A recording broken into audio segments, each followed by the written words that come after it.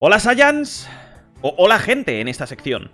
Bienvenidos al canal y a un nuevo vídeo de, bueno, de nueva generación. Prometí abrir esta sección y vamos a abrir esta sección con algo, con un tema muy candente y que la gente está hablando en eh, internet. En toda la red están hablando sobre esto y la verdad es que es un tema que me gustaría aclarar desde mis conocimientos y mis estudios como, bueno, mis estudios de, informática, ¿no?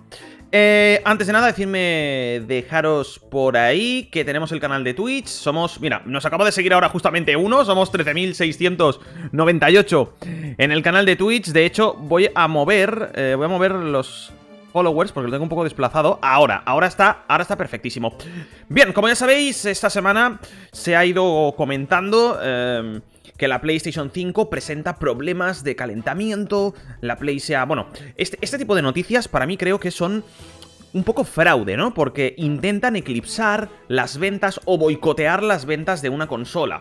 Luego, realmente, nos introducimos de lleno en la noticia, introducimos, eh, nos introducimos en la noticia y miramos a ver qué es lo que realmente es la noticia y encontramos unas imágenes realmente curiosas. Y me gustaría hablar de esto para la gente que quiere comprar una consola que no se asuste, ¿vale?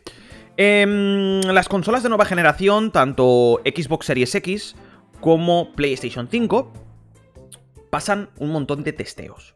Testeos de sobrecalentamiento, testeos de resistencias al calor, al frío, al polvo, a la humedad. O sea, es decir, estas consolas realmente están preparadas para trabajar a ciertos grados de temperatura. No olvidemos que siguen pareciéndose a lo que son unos ordenadores. No dejan de ser unos ordenadores. Una placa base con una GPU y con una CPU que es lo que viene siendo un ordenador, un sistema de refrigeración y sus respectivas memorias, ya sea memoria RAM o memoria... Em, memoria RAM o memoria en, gigabytes, ¿vale?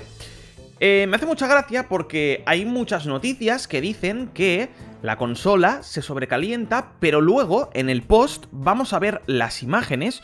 Os lo voy a enseñar para que lo, ve para, que, para que lo veáis, ¿vale? Aquí tenemos una PlayStation 5 en una, en una exposición con un televisor Sony realmente bonito, realmente atractiva, una buena base, una buena presentación, pero aquí los más... No los más inteligentes, sino que los que sepáis mejor del tema vais a poder comprobar que hay un fallo, hay un defecto. Y ahora lo vamos a hablar, ahora lo vamos a comentar. Muy bonita la PlayStation 5 con esas luces... Muy bonita, ¿no? Muy bonita. Realmente increíble. Y vamos a comentarlo, vamos a comentarlo porque me parece realmente increíble. Vamos a volver a poner la imagen para que lo veáis. Os habéis quedado, ¿no? Con la, con la PlayStation 5. Os habéis quedado en la forma y en la posición en la que está. Bueno, claramente esto yo creo que es un, es, un intento de boicot a, a la marca Sony. Ya sabéis que hay mucha gente que se va de un lado a otro hateando. Yo creo que no hay que ser tan hater. No hay que ser tan hater porque cada uno compra la consola que le da la gana y no han sacado al mercado una consola diseñada para quemarse. Sí que es verdad que la PlayStation 4 hace ruido con la ventilación, pero oye, yo tengo la Slim y la Fat desde que salieron, las dos, y a mí no se me ha quemado ninguna consola y le he metido caña y la he tratado fatal. Por lo tanto, eh, me desvío del tema. Vamos a hablar de la imagen. Las voy a volver a poner para que la, para que la disfrutéis la, estáis viendo. Quedaros donde, está la urna y la vitrina donde está la PlayStation 5 y os explico, ¿vale? Lógicamente, si tú pones una consola eh, encerrada en un cuadrado, en un rectángulo, como estamos viendo en la foto, oye chico, es normal que la consola te pete y se te queme. Em, tú no puedes tener una consola que está disipando aire caliente encerrada en un cajón tan pequeño. El calor sube, choca contra el metacrilato y vuelve a bajar. La PlayStation está haciendo una lectura de temperatura y está aumentando la temperatura saliente de la consola más la que ya está fuera porque está encajonada en un cajón de metacrilato. Esto es lo que no se debe hacer, cómo no se debe presentar una consola, en este caso este establecimiento, debería de o bien por la parte de arriba, es lo más recomendable, o por la de abajo, tener unas rejillas de ventilación. Pero es que esto no es que pase con PlayStation 5, esto te puede pasar con una Xbox, con una Play y con una Nintendo Switch. Yo ahora mismo pongo una Nintendo Switch dentro de una caja, con un juego a tope de velocidad, cierro la caja herméticamente y no dejo que salga nada de aire, te puedo garantizar que la consola va a acabar quemándose. Porque está exponiéndose a una temperatura no recomendada y cada vez subimos más la temperatura. Cada vez la consola se calienta más. No respira, no tiene oxígeno para respirar la consola, ¿no? Por tanto, considero que esta imagen, vamos a ver otra, de otra exposición, volvemos a lo mismo. La consola tiene, como veis, cuatro placas de metacrilato, está completamente cerrada y ahí no hay Dios que haga respirar a la consola. ¿Qué pasa con estas consolas? Pues que están mucho tiempo encendidas, todo el día. Y si están con un juego o con algo puesto, normalmente sacan aire caliente. Llega un momento en el que la temperatura de la consola no la aguanta y la consola, pues, se apaga por sobrecalentamiento. No se quema, que no se engañen, no se quema. La imagen que está circulando por internet es que la PlayStation se ha apagado, en el texto lo pone, por exceso de sobrecalentamiento. Y para enfriarse, la consola se apaga.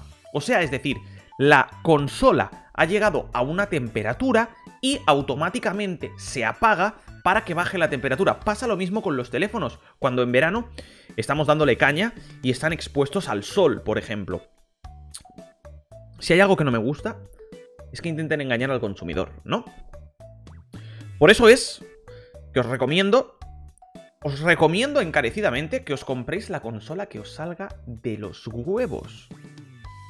No se os va a quemar porque sea una Play 5 o porque sea una Xbox. De hecho, para mí, PlayStation 5 será menos potente, pero la veo muy bien preparada en sistema de refrigeración, en diseño y en efectividad. Por eso es que, gente, de verdad, no os creáis estas, eh, estas noticias, porque esto lleva pasando desde PlayStation 2. Yo también escuché que PlayStation, la PlayStation 2 se quemaba cuando esa PlayStation, si no tenías memory card, la tenías una semana encendida y antes se te iba la luz que se te quemaba la consola.